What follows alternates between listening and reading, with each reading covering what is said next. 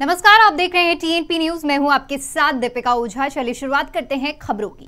छपरा के परसा सामुदायिक स्वास्थ्य केंद्र के सभागार में होम्योपैथिक चिकित्सा पदाधिकारी को सेवानिवृत्त होने पर विदाई दी गई। बता दें कि डॉक्टर मोहम्मद अल्ताफ अंसारी काफ़ी लंबे समय से होम्योपैथिक के क्षेत्र में काम कर रहे थे। अंसारी के सेवानिवृत्त होने पर उन्हें सम्मान पूर्वक विदाई दी गई। कार्यक्रम की अध्यक्षता करते हुए सीएचसी प्रभारी डॉक्टर सुमन कुमार ने कहा कि नौकरी में तो आना जाना और सेवानिवृत्ति एक प्रक्रिया है। डॉक्टर अल्ताफ अंसारी का कार्यकाल हम सब के लिए प्रेरणा स्रोत है, क्योंकि वे किसी भी समय मरीजों की सेवा करने के लिए तैयार रहते थे। इस दौरान सेवानिवृत्त होम्योपैथिक चिकित्सक पदाधिकारी डॉक्टर अल्ताफ अंसारी ने कहा कि स्वास्थ्य कर्मियों ने काम के समय जो सपोर्ट किया है, उसे मैं कभी भुला नहीं सकता हूँ। आप सभी स्वास्थ्य कर्मियों का प्यार मुझे ताउम्र याद रहेगा।